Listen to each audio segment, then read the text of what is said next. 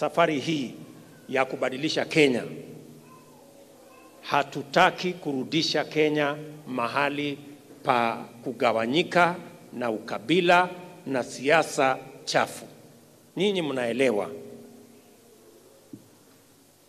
wakati tulitoka siasa duni ya ukabila 20, 2007 2008 Mheshimiwa Uhuru Kenyatta rafiki yangu na mimi tuliketi chini na tukasema lazima tubadilishe msingi wa siasa ya Kenya, tuondoe siasa ya ukabila na chuki na migawanyiko, tuweke siasa ya sera ya maendeleo na kubadilisha maisha ya Wakenya, na hatukurudi nyuma. Ni kwa sababu ya hiyo msingi tulikubaliana na Mheshimiwa Uhuru Kenyatta, na wakati mimi niliamua ya kwamba nitamuunga mkono Mheshimiwa Uhuru Kenyatta awe rais wa nne wa Jamhuri ya Kenya, watu wengi wakiwemo wale walikuwa mazishi jana waliniambia ya kwamba hakuna vile wewe unaweza kuunga mkono Uhuru Kenyatta kwa sababu yeye alikuwa eti ni Mkikuyu kama Mwai Kibaki ambaye alikuwa ofisini. Lakini niliwaeleza siku hiyo na ninawaeleza hata na leo ya kwamba niliunga mkono Mheshimiwa Uhuru Kenyatta sio kwa sababu ya kabila yake, sio kwa sababu alikuwa anawakilisha kabila yake, ni kwa sababu mimi na yeye tuliketi chini tukakubaliana kwa sera ya kuweka maendeleo Kenya hii ya barabara na reli na kuunganisha stima na kujenga technical training college na kuweka maji katika taifa letu la Kenya, ndio Kenya iwe bora kuliko vile ilivyokuwa wakati huo. Hiyo ndio sababu niliunga mkono Mheshimiwa Uhuru Kenyatta, na nilimuunga mkono nikijua ya kwamba Mwai Kibaki alikuwa ofisini na ilikuwa ni makusudi ndio tuweze kuondoa siasa ya ujinga ya kuweka watu katika mirengo ya kabila. Mimi nataka niwaulize, hatuwezi na nataka nirudie, hatuwezi kurudi katika siasa ya ukabila. Kenya hii itapiga hatua ya kwenda mbele. Kila kiongozi, kama unatafuta MCA, kama unatafuta mjumbe ama gavana ama senator ama women rep ama rais, usitafute uongozi kwa sababu ya kabila yako. Hauwezi kuwa kiongozi eti kwa sababu unawakilisha kabila yako. Tafuta uongozi kwa sera na ajenda, yale utafanyia Wakenya. Wakenya watachagua sera, sio kabila. Na mimi nataka niwapatie free advice wale wote ambao wanaota ndoto eti watatembea na kabila yao, eti watatuuzia ati wao wana represent kabila yao, ya kwamba Wakenya wamechanuka na Wakenya wanataka kujua sera ni gani, ideas uko nazo, kama uko na track record ndio waweze kukuchagua. So mimi nawauliza, kwa sababu nasikia sasa tumeanza tena eti kurudi nyuma kuongea mambo ya makabila. Sisi wote, mimi William Ruto nikiweko, tunatafuta uongozi sio kwa sababu ya kabila yako ama kwa sababu unawakilisha kabila yako, ni kwa sababu aidha uko na sera, uko na mpango, ama kama huna, basi wananchi hawa watajua vile wataamua. Tunaelewana jameni? Na mimi nataka niseme hivi ya kwamba saa hizi kuna msukosuko, kuna, watu, kuna matatizo. Watu wamechanganyikiwa. Kwa sababu tumesema lazima tubadilishe mazungumzo na mjadala katika taifa letu la Kenya. Tumesema hivi na watu wengi saa hizi wame, wale ambao wamezoea kutuuzia ukabila saa hizi wamepata wasiwasi kwa sababu biashara yao ya ukabila na bei ya ukabila Kenya imepungua.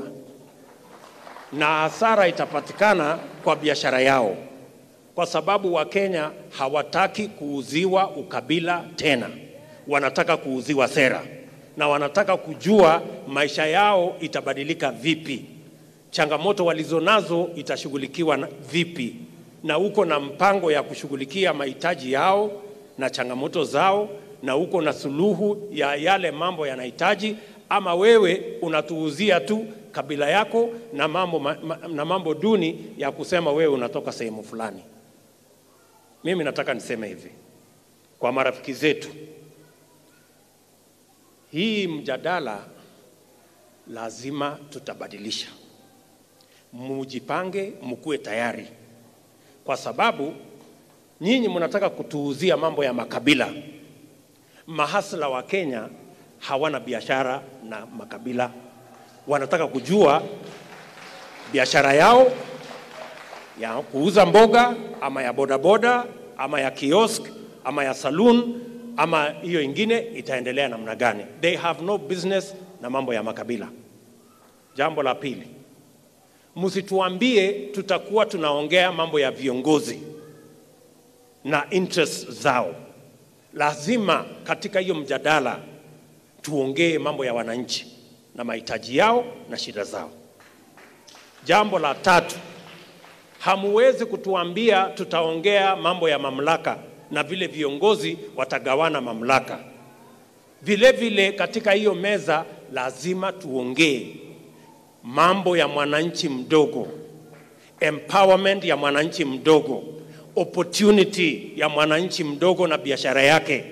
Atafanya biashara vipi? Atasaidiwa kufanya biashara vipi wakati viongozi wanazungumzia mambo ya kugawana mamlaka? Jambo la nne, vile wanataka tuongee mambo ya vyeo na vile viongozi watagawana vyeo, sijui prime minister, sijui deputy prime minister, sijui rais na hiyo ingine. Lazima pia tuongee mambo ya kazi kwa mamilioni ya vijana wa taifa la Kenya ambao hawana matumaini.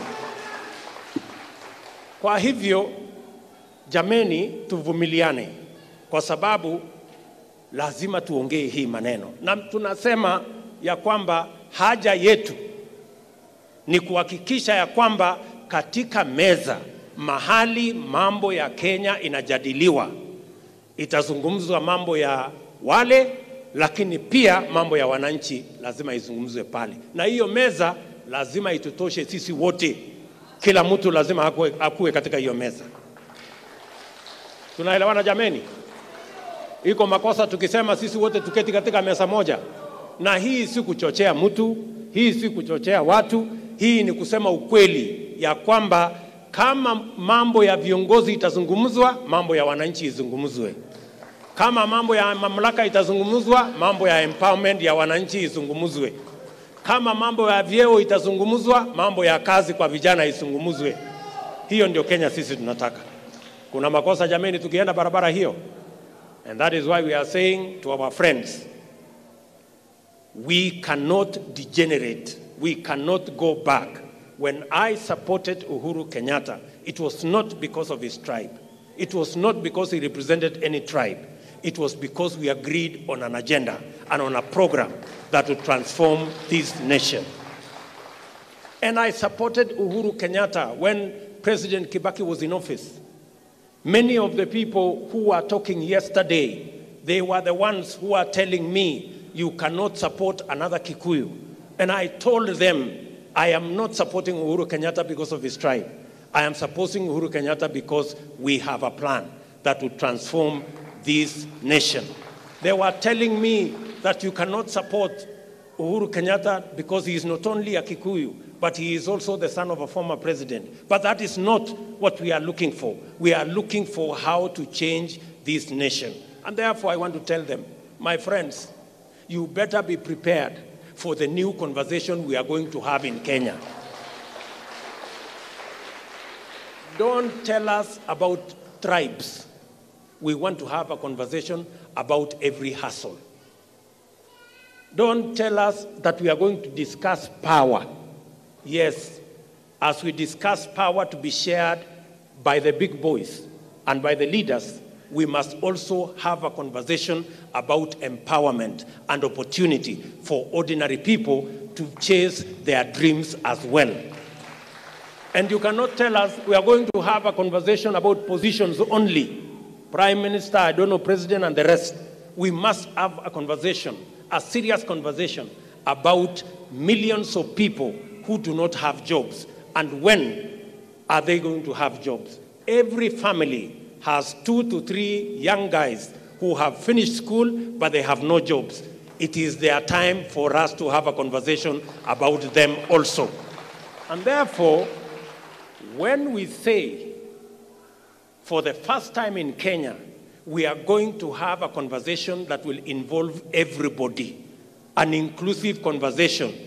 Don't drive us the narrative of exclusion, of telling us about tribes and tribal chiefs. My friends, hiyo watu wajinga wameisha Kenya, haiwezekani tena. We are going to have a conversation, an inclusive conversation, and all cards will be on the table. Nobody is, not, is going to be absent. And the table is, go- is big enough for all of us to sit and have an honest national conversation about everybody. And that is what I am saying. That is what the Hustler Nation is saying. The Hustler Nation is saying this country belongs to all of us, and we must all sit at the table where the, we are going to have a honest national conversation. And let me say this for the record it is not a must, it is not a condition that William Ruto or anybody must be president, but it is a must that we must all sit on the table. It is not negotiable. It is not negotiable that we can continue to have an exclusive conversation about few people and about some tribes and about some leaders. We are going to have a honest national conversation. And that is what the Hustler Nation is about. It is not a threat to anybody, it is not incitement of any nature. We are just going to have a honest conversation, all of us on a table, so that we can agree on how to move Kenya forward.